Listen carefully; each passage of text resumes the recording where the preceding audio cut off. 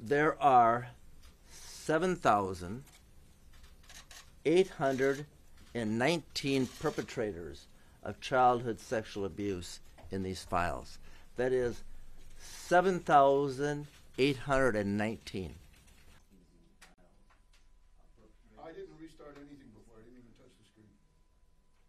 Secondly, she revealed under oath that in her audit working for the Boy Scouts of America, that there are 12,254 victims of childhood sexual abuse in those files, in the perversion files of, of Scout leaders. 130 in New York.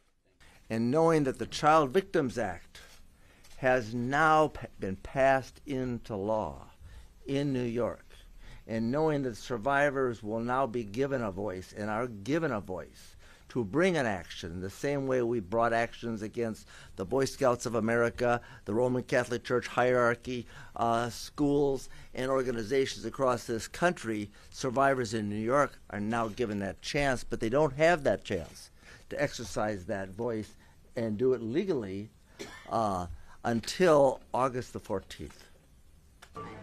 Ready? What do you point?